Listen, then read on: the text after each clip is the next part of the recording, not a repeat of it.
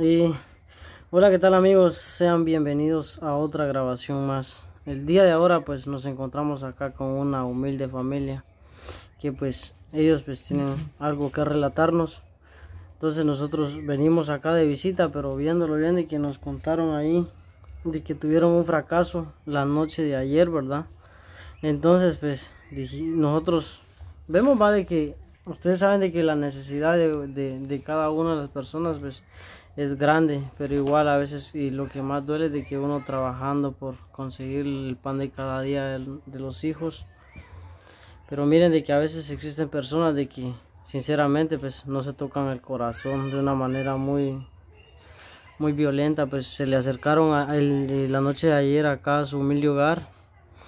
Y pues como ustedes pueden ver de que la casita pues ellos poco a poco lo levantaron. Si no estoy mal fue un proceso como de tres años que se llevó para levantar su hogar.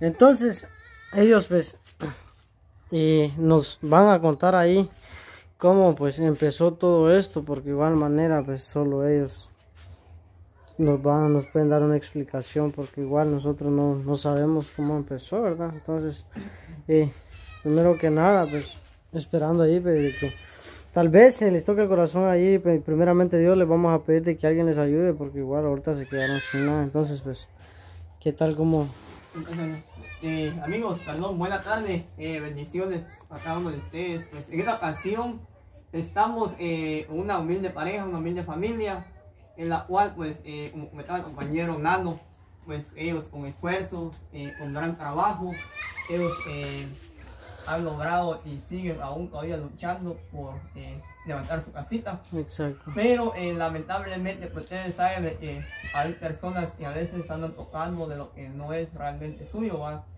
Eh, anoche pues lamentablemente a ellos le entraron a robar.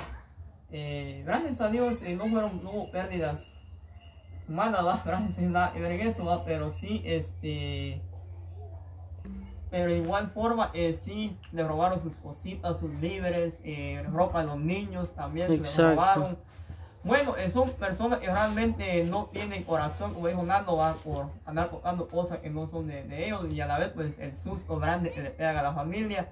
Entonces eh, ellos pues han luchado, especialmente el amigo ahí pues él trabaja lo que es parte de la caña y la verdad, pues no es fácil el trabajo tampoco, es muy duro, el sueldo muy bajo, pero gracias a Dios él ha seguido trabajando y así es como ha levantado su casita y sigue aún todavía eso.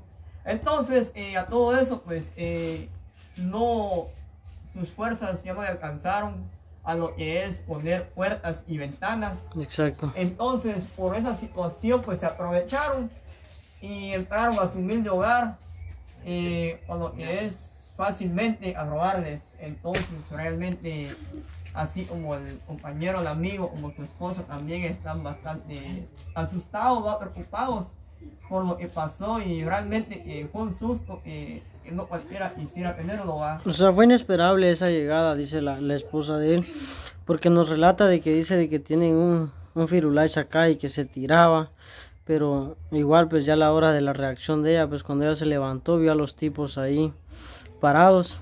Hasta acá no sabemos quiénes fueron, pero igual forma, pues solo Dios puede encargarse de lo que ellos han hecho, porque el, quitarle, eh, bueno, no les han arrebatado la vida, pero imagínense de que eh, nuestro compañero, pues ha sido un hombre bien trabajador, entonces él ha luchado por traer este una libra de frijol, una de arroz o, más el azúcar. Entonces, de igual forma, eh, Esperamos de que Dios sea el único que haga justicia, ¿va? porque nosotros no podemos hacer nada.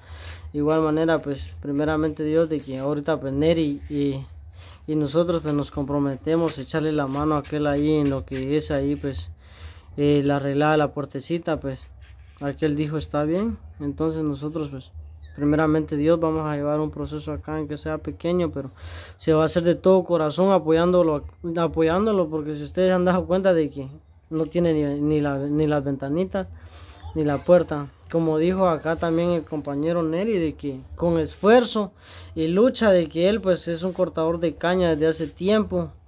Pero miren de que siempre las malas personas no faltan en llegar y pues les han quitado sus víveres, ropa a los niños, calzado y es más este digan de que gracias a Dios pues no les hicieron daño Mire, otra de las cosas, vamos a platicar con ellos cómo fue que nos regalaron un poquito de ellos para que ellos, pues, se den, especialmente los amigos, se den cuenta realmente cómo sucedió.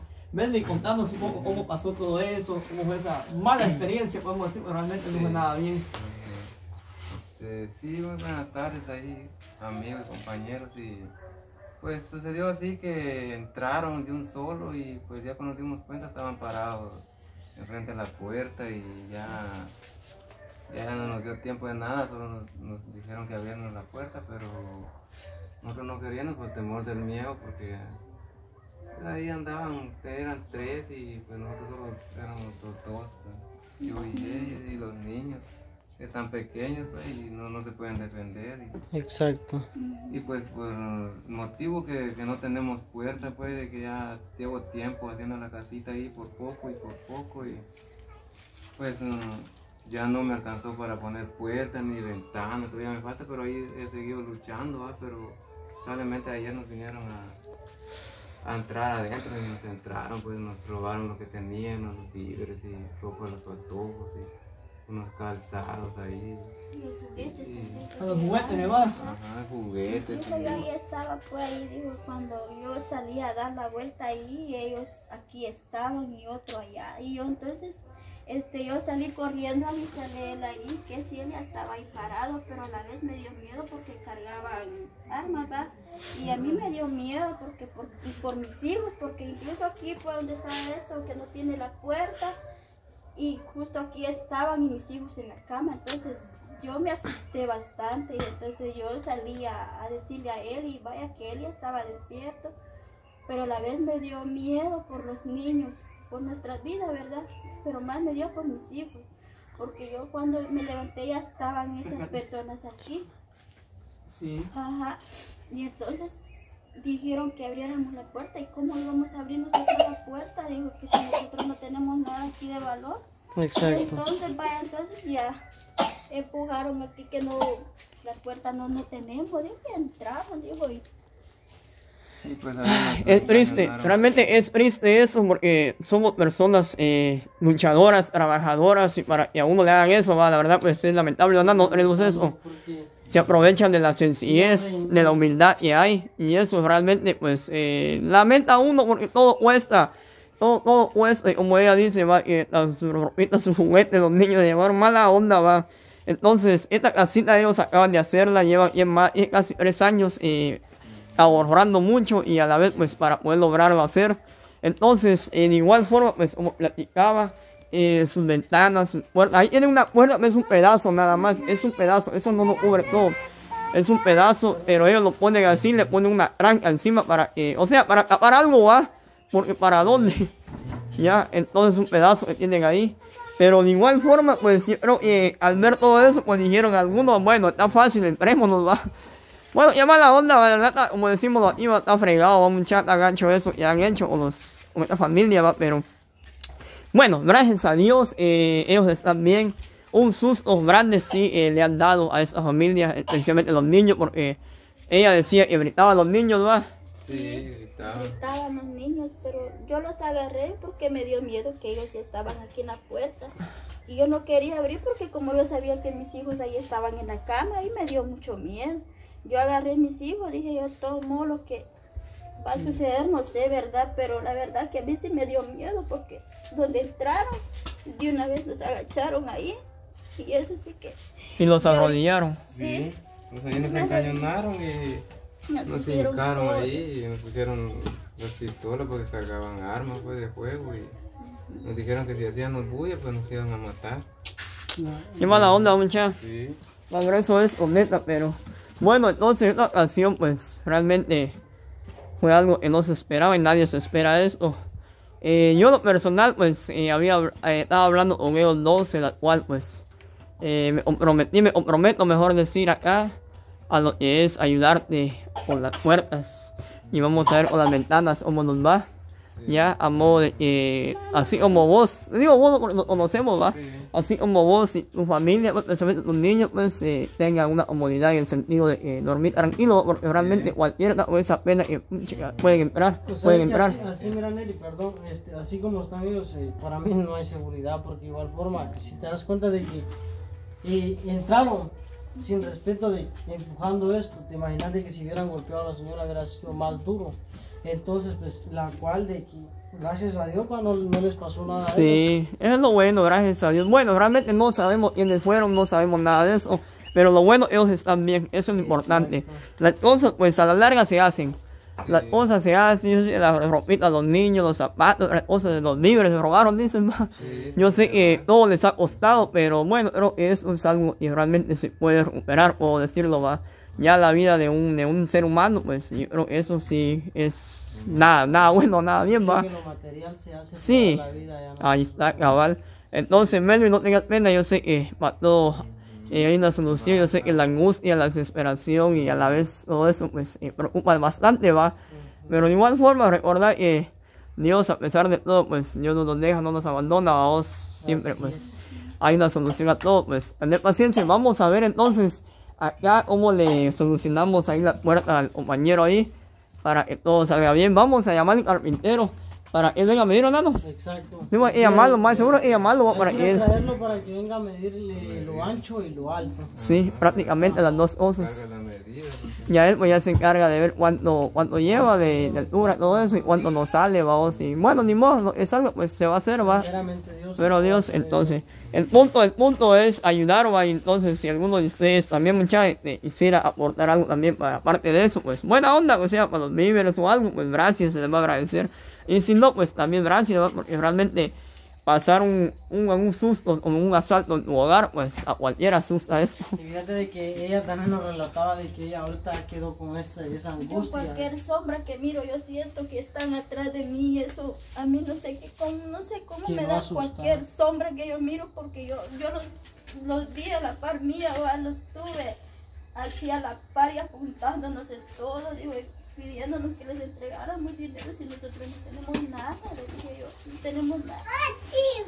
¿Qué quieren? Y entonces ahí nos pusieron todo lo que traían, digo, y se llevaron todo lo que pudieron llevar. Pero yo sí quedé muy... Ya, No, o sea, los nervios, los nervios, ya no voy a- sería bueno tomar algo con los nervios, porque realmente ella está así, alerta, asustada. Uno, bueno, o sea, uno de hombre también se asusta un poco más, pero menos. Más, eh, especialmente una mujer. Es mejor inyectada, fíjate. Pues él- Inyectada una neurobión, eso, esa le cae, eso le cae bien porque con el tiempo puede hacer que ella su, sufra ne, neuro, neuro, algo así, de esa cosa que se llama. Bueno, entonces, este, Melvin, no tengas pena. Primero Dios, todo va a salir bien. Eh, ahí vamos a ver cómo, pues, mañana. Mañana puta, ya es tarde. Sí. Puta, no podemos, son a las 6 y cuarto, 6 y 20 de la tarde ya. Ya, ya, no, ya no se puede, ya aquí en Guatemala a la hora es prohibido andar también ya a las calles. Entonces, escapadita, nosotros nos dejamos venir un momento acá. Ya mañana, pues será otro día. Primero Dios, este, vamos a averiguar eso con el carpintero, va. Y primero Dios, todo sale bien, muchachos. Perfecto Dios, Melvin, tranquilo ahí. Perfecto Dios, pues mira, muchachos. Muy bonita su casita de aquí, hombre, pero lamentablemente eh, sucedió eso. alcanzó para las puertas hombre, y las ventanas también, Y el pero piso ahí voy también, luchando ahí también. Todavía me faltan varias cosas que ponerle, pero ahí yo haciéndolo poco a poco entre, entre ella y los patojos también, ahí ya no compramos otra cosa por arreglar la casa. Pero Sí, hombre, por el eh, momento que nos hacer una casa de gastos. Sí. Es una inversión, o sea, o sea Y pobre, no, no es de nomás que lo he empezado, ya llevo como tres años desde que estarlo haciendo, construyendo hasta donde lo llevo ahorita, ¿verdad? que ya casi la terminé, pero me hace falta todavía otras cosas.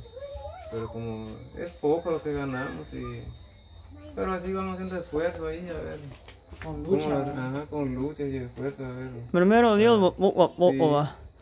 Está bien, bueno, entonces, este, vamos a hacer la grabación, amigos. Vamos a continuar ahí en la otra parte, primero Dios, donde vengan muchachos a hacer eso para, que- para a nuestros amigos, va, y vean que realmente pues queremos apoyarnos. Vean que vean, realmente queremos apoyarnos, entonces pues así será, primero Dios, entonces. Los dejamos, bye bye, adiós.